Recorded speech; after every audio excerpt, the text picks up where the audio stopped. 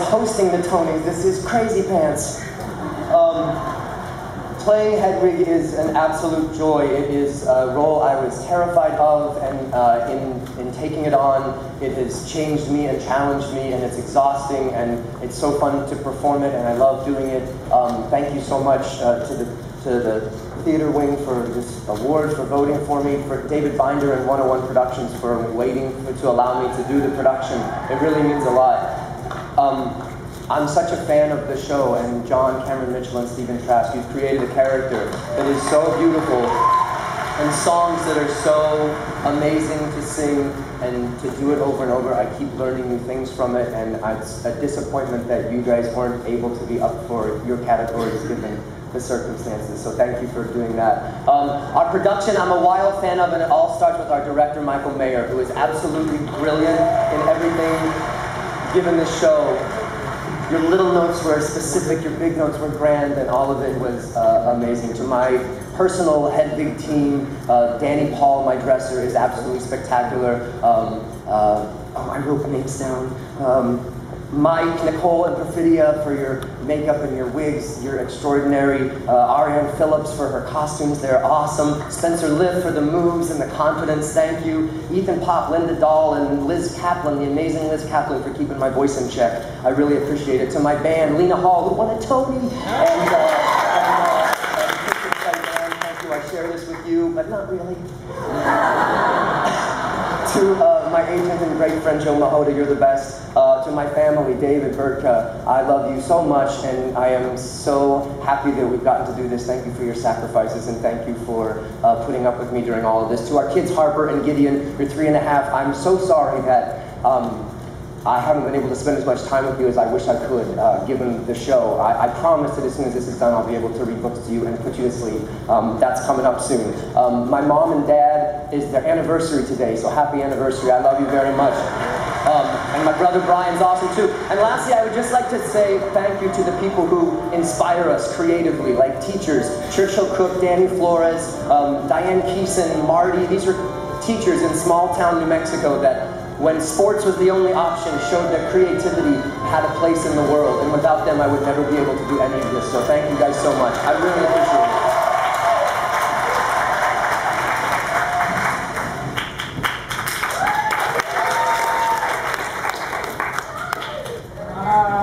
Um, you play such a convincingly male role in this show. How did you go about finding physicality for yourself? I I studied uh, men. I went out, I literally sat down and I watched men walk around New York City streets. Um, I actually categorized their walks from the shuffle to the um, dick first, I guess you could say. Um, but I categorized all their walks so I could pick one that I felt um, best represented my character, which is a it's a shuffle. It's definitely a shuffle. And um, uh, I also uh, I studied my, boyfriend um, a lot. Uh, it, I studied his facial expressions and how he would react to some really intense emotional um, moments when we'd have a fight or something. But uh, it, it, was helpful for me to actually study men in uh, just in life because uh, it was what inspired me the most. I also watched some Marlon Brando um, because I, I, I, love how mysterious he was in his films um, and the dark eyes and kind of the sad eyebrows, uh, that kind of thing. So. Uh, was that a My Little Pony reference at the end of your set night? Yes, it was! My Little Pony Friendship is Magic.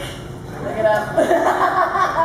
I'm obsessed with this show. did, did, my, did they play a role in helping you this show? or? Um, I became a fan of the show about a year ago uh, when I found it on Netflix. And what it did was it teaches these lessons about friendship that to kids, but honestly, watching them, I learned about friendship again and what it really means to have friends in your life. And you know, for the longest time, I, I felt alone in the world. And when I was watching uh, My Little Pony Friendship is Magic, I realized how important like all these people around me were, and I started to embrace them and love them more and be more grateful for for who they were and what they meant in my life. And, and through that, I found a lot more happiness in my life. And, and I think that happiness has like moved into my professional career. And, and just like leaks out onto people who, who, who, know me. I mean, honestly, friendship is totally, it's magic. It's just the truth.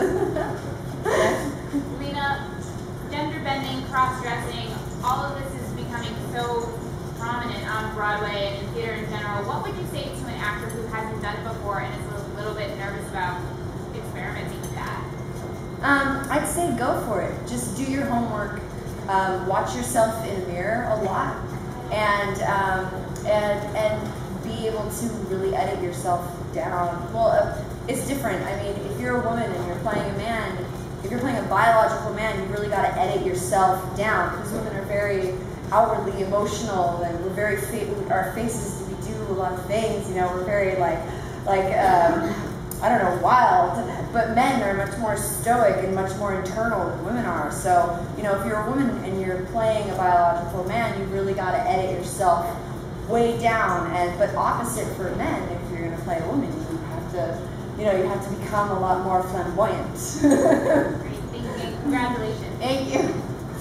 Ashley from Hollywood Reporter. Um, you feel clearly have this one over Broadway, but also with this broadcast where you're introducing Hedwig to a national audience um, with that performance. And so I'm kind of wondering, was the Sting, Kevin Bacon, Orlando Bloom stuff, was all of that like strategically pointed out plan? And did they have any like short, you could give me a lap dance?